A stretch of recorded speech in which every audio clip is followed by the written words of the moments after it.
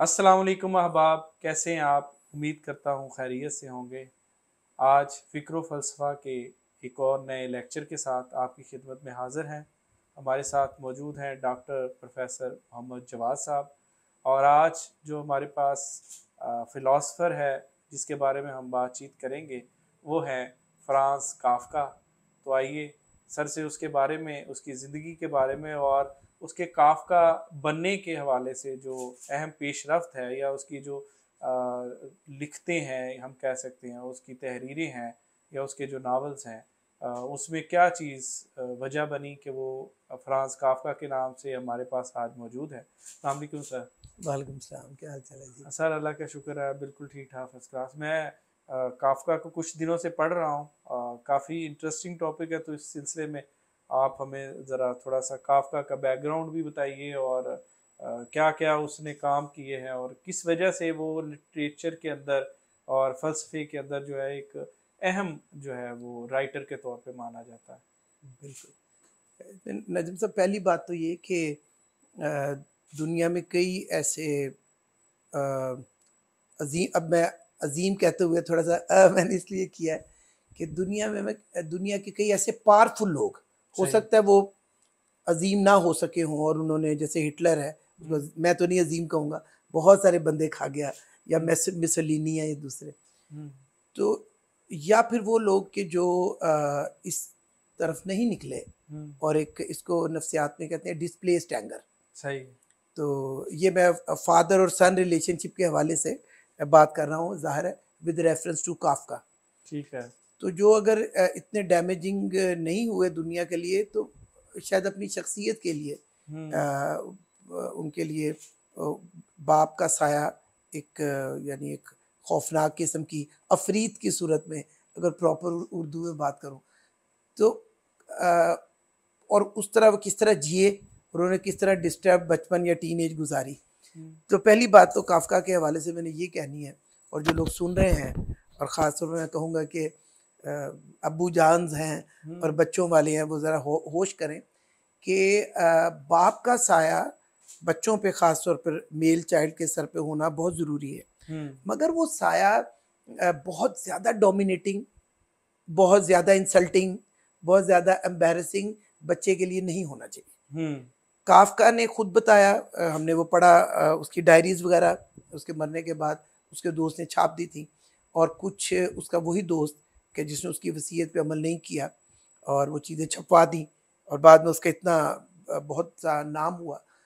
उसके थ्रू हमें पता चला कि वालिद उसके बहुत लंबे ऊँचे, बहुत कोई अपने हिसाब से, उस ज़माने के हिसाब से बड़े वेल बिल्ट फिज़िकली भी और बड़ी हाइपर किस्म की गुस्सा बहुत जल्द आने वाला, बहुत ब्लंट तो ये भी और इसकी वालिदा भी इस वक्त मेरे जहन में नहीं आ रहा कि इसकी और बहन भाई कितने थे या क्या थे मगर ये भी और इसकी वालदा भी तो उस बहुत दबे दबे रहे सारी उम्र तो काफ का एक बहुत हसास बच्चा था और उसने आपके सामने कि उसने क्या क्या लिखा है हम्म। और क्या क्या उसमें टैलेंट था तो वालिद उसके लिए इसलिए डैमेजिंग हुआ कि ऐसे वालिद बच्चे को वो रिकग्नाइज नहीं करते। और दूसरी बात यह है कि अपनी ही ज़्यादा डोमिनेटिंग होने की वजह से उसकी शख्सियत को निखरने नहीं देते। हम्म। तो ये बल्कि एक दफ़ा सबसे फिर आगे चलते हैं। सबसे अफसोसनाक वाक़ मुझे काफका की ज़िंदगी से याद आ गया कि बहुत अरसे बाद जब उसने महसूस किया कि जो कुछ किया है मेरे बाप ने नोइंगली या अनलोइंगली ख़ासतौर मेरी टीन एज में तो उसको मैं अब सामने तो हिम्मत नहीं है कहने की। हम्म। वो मारता भी था मारता पीटता भी था। जैसे उस ज़माने में बच्चों को ज़्यादा रिवाज था कि माँ बाप मारा भी करते तो उसने कहा कि अच्छा मैं अब लिख दूँ और लिख के एक डायरी की सूरत में ही अब्बा जी ने पेश कर दिया कि तुझे की की किता है मेरे नाम। तो वो बदकिस्मती से ये नहीं हो सका तो उसने अपनी माँ को दिया। तो ये कहा कि जो भी कुछ हो गया है, कुछ ना कुछ मैं कन्वे करना चाहता हूँ। बाप पर। तो वो खातून भी बेचारी इस कदर सहमी हुई बीवी थी अपने हस्बैंड की कि वो चीज़ भी उसने वहाँ तक नहीं पहुँचाई। हम्म।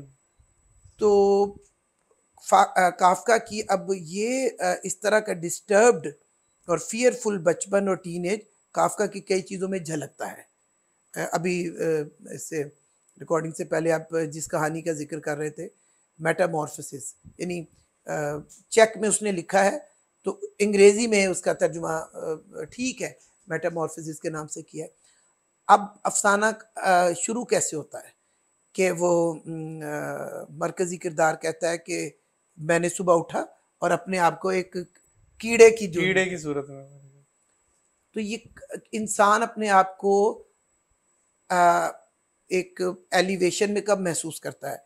जब ऐसी बड़े लोगों की कंपनी में हो जैसे मुझे चेखौफ का एक वाक़ याद आ गया वो भी तो एक बहुत बड़ा अफसाना निगार है कि लोग महसूस करते थे कि हम चेखौफ के पास जाते हैं हम्म। तो आ, इस तरह वो हमसे ट्रीट करता है दुनिया का बेहतरीन ड्रामा निगार और अफसाना निगार कि अपना आप अहम लगना शुरू हो जाता है हम्म। चिखोफ के पास जाते तो अपना आप छोटा नहीं लगता था हम्म। तो ये बड़े लोगों की निशानी होती उसने जो, जो भी किया उसके बाप ने तो उसकी तहरीरों में ये आ, अब वो कहता है कि ये कैसे हो गया और मैं एक जीते जागते इंसान से कीड़ा हो क्या अब किसी के पैर में आ जाऊँगा या घर वालों को क्या पता चलेगा अच्छा अब अफसाने में ये एक किस्म का एक नया ट्रेंड था।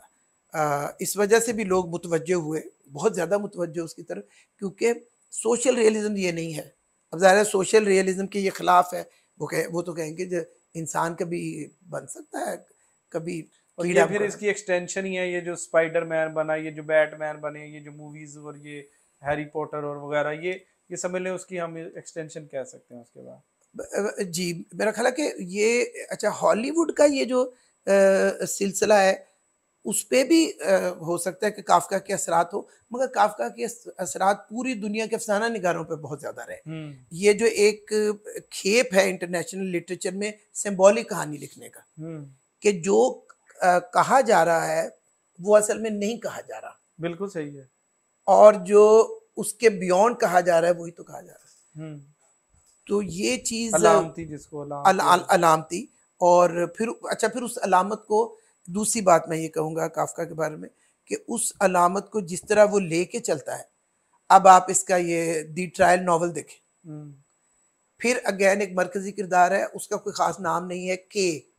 इसी तरह हमने तर्जुमा पढ़ा मैंने इंग्लिश में तो वैसे उसकी अपनी ज़बान में वो मुझे नहीं पता ज़ाहिर है चेक लैंग्वेज में उसको बड़ी दस्तरस होगी वो तो मुझे नहीं आती। हमने ट्रांसलेशन में जो देखा तो एक मरकजी किरदार है उसका कोई ख़ास नाम नहीं है और बिन फलाना फलाना तो बिल्कुल नहीं है हम्म। के और उसको बिला किसी कसूर के धर लिया गया है और उसको उसकी इन्वेस्टिगेशन हो रही है। अब उस बेचारे को ये भी नहीं पता कि मेरी इन्वेस्टिगेशन हो रही है तो मैंने कसूर क्या किया अच्छा अगर ये नहीं पता तो अपने आप को डिफेंड कैसे करूँ?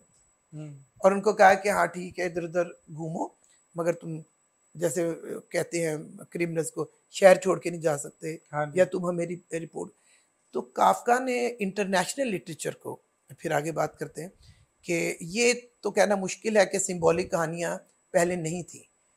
मगर सिंबल सिंबॉलिक अफसाने और सिंबल और सिंबॉलिक नावल को लेके चलना और उस सिंबल को फिर इतना एक्सटेंड करना और उस एक्सटेंशन के साथ पूरी ज़िम्मेदारी से लिखना ये ये मेरा ख्याल है बाकी बहुत कम लोगों से ऐसे हुआ है।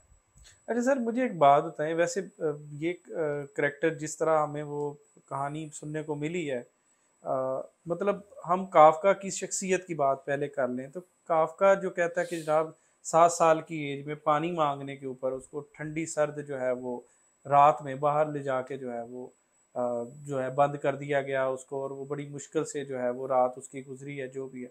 लेकिन हमारे नॉर्मल तो ऐसे हालात नहीं है मतलब मैं कहूँ कि ये कोई इस तरह के केसेस इक्का दुक्का केसेस होंगे, वालदेन इस हद तक तो नहीं है सख्त जो मिजाज जो है। बदकिस्मती से नजम साहब ज़ाहिर है आपके पेरेंट्स बहुत अच्छे यकीनन होंगे। मेरे बहुत पेरेंट्स बहुत आला लोग थे मगर इस बहुत सारे लोग लोगों के साथ ऐसे होता है। मैं इसकी चंद एक मिसालें दूँ। अच्छा वो मिसालें पूरी दुनिया को मालूम है। यानी हिटलर जो है। सबको पता है कि हिटलर एक अफरीद की तरह पूरी दुनिया पे वो छा गया था। और फिर उसने खुद खुदकुशी की। दूसरी जंग अजीम में उसने क्या किया? यहूदियों के साथ किया और पोलैंड पे पहले हमला किया। ये सब तो मालूम है। लोगों के जहनों में ये शायद कम हो कि हिटलर का बाप बाप उसके साथ क्या करता था। अच्छा। उसको वो बेल्ट उतार के तो गुस्से में तो उसको बेताशा मारता था। उसको हमेशा उसकी माँ के सामने और बहन भाइयों के साथ ये बार बार कहता था कि तुम कुछ नहीं हो यू आर नथिंग लूज़र हो और बकवास हो। और अब उसकी जो हमदम और हमनवा थी सिर्फ़ हिटलर की माँ थी। इसलिए बहुत सारे लोगों ने कहा कि उसकी डेथ पे इसकी हालत देखने वाली थी। यानी ये सब इन सब बातों के बावजूद भी जो हिटलर ने किया वो जस्टिफाई नहीं हो जाता। और मैं जस्टिफाई कर भी नहीं रहा। मगर यह है कि अच्छा फिर इंडिया के एक बहुत बड़े मौसीकार हुए हैं ओपी नैयर हम्म। तो ये बातें लोगों ने लिखी है तो वही तक पहुँची। उनके किसी से नहीं बनती थी। हम्म। तो आप ये वही साहब है जिन्होंने सारी उम्र लता से निकवाया सही। और वो बहुत अच्छा टैलेंटेड बहुत थे मगर अपना एक बड़ा एग्जिजरेटेड एक वर्जन इसके साथ लड़ना उसके साथ लड़ना। रफ़ी साहब के साथ सारी ज़िंदगी काम किया तो आखिर में उस उस जैसे शरीफ आदमी से भी तू तू मैं में हो गई। फिर मोहिंदर कपूर से गवाते थे और रफ़ी को याद करते थे। तो एक दफ़ा उन्होंने खुद बताया उन्होंने कहा कि मैं मुझे यहाँ तक पहुँचाने में मेरे बाप का बहुत रोल है। वो मुझे बेतहाशा पीटता था हम्म। और हमेशा तो मैंने कहा कि वो मुझे मारता था लाइक एनी थिंग और मेरी पर्सनैलिटी को कुचलने के लिए। और इस तरह की मुझे तो बहुत मिसालें याद आ रही हैं एक मिसाल और यानी बहुत मशहूर लोगों की। उर्दू अदब के अनीस नागी को कौन नहीं जानता। हम्म। तो उन्होंने मरने से पहले फौत होने से पहले एक किताब लिखी एक अधूरी सरगुजश्त। और मेरे लिए ये एजाज़ की बात है कि कॉपी मुझे भी दी। बहुत पहले की बात तो आप भी बड़ा दुख हुआ। उन्होंने कहा कि मेरे एक दफ़ा दोपहर का वक्त था और मेरे वालिद सोए हुए थे तो मेरे हाथ से कोई चीज़ गिर गई या क्या हुआ तो वो उठ गए। कहते जो मुझे मारा है उसने और मगर वो कह रहा था कि मेरा अपने बाप के साथ अनीसा की एक लव हेट रिलेशन था। उसने कहा कि जब वो उनकी डेथ हुई है तो मैं बहुत ज़्यादा सदमे से भी गुजरा हूँ। तो चलिए हम आगे बात करते हैं, मगर मैं ये समझता हूँ कि आपके तवस्त से एक बहुत अहम बात कर रहे हैं, अगर कोई सुने और समझे। यानी जि, जि जो लोग शादियाँ कर रहे हैं जिनके बच्चे हो गए हैं होने हम्म। वाले हैं उससे कुछ सबक सीखे। यानी एक अच्छा एक, बहुत डोमिनेट डोमिनेटिंग मदर भी मेल चाइल्ड के लिए ठीक नहीं होती। अच्छा। जी उसके और तरह के वो फिर अगर अगर वालिद साहब बहुत दबू किस्म के हैं और वालिदा बहुत चीज़ें मैनेज करती हैं तो मेल चाइल्ड रिजम्बलेंस किससे पैदा करना शुरू कर देता है? माँ से। हम्म। तो फिर आप उसको क्या क्या कहते हैं? वो हम्म। कहते हैं सुपरफिशियल होता है। हम्म। मगर आप तो, तो ये तो है ही मेल शावनी सोसाइटी इवन जो माँ बाप बहुत इंपॉर्टेंट बात होते हैं। अच्छा वो लड़कियाँ अब वो भी सुन के नाराज़ ना मैं ज़िंदगी में। बहुत सी ऐसी लड़कियों को जानता हूँ कि जो उनके अपने हम उम्र लड़के उन्हें पसंद नहीं आ रहे। ओल्डर लुकिंग है ना ब्याह करना वो फादर फिक्सेशन है अच्छा। फादर उससे भी यानी हम फिर आगे चलते हैं काफका का का तो ये हुआ कि उसकी ज़िंदगी तो बुरी तरह तबाह हुई फिर उसको एक बीमारी हो गई थी वो भी आपने पढ़ा होगा और, और वो खा नहीं सकता था वो डाइजेस्ट नहीं कर सकता था और और बहुत जल्दी जो है वो उसकी उसकी डेथ हो गई।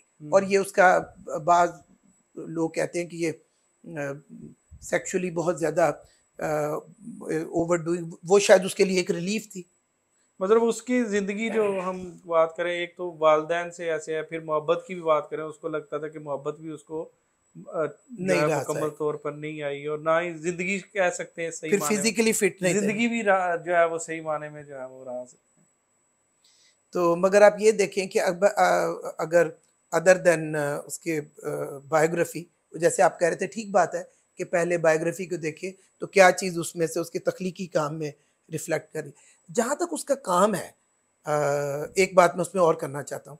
एक तो हमने ये देखा कि सिंबॉलिक अफसाना और पूरी सीरियसनेस के साथ कई दफ़ा उर्दू में मैंने कई सिंबॉलिक कहानियाँ लिखी हैं फुसफुसी सी क्योंकि सिंबल बनाना और उसको सक्सेसफुली ले लेके चलना ये आसान तो नहीं है। ये आसान नहीं है। यानी ये कदरे मुश्किल है। कहानी सोशल रियलिस्टिक भी होती है रोमांटिक भी होती है तजरीदी भी हो सकती है।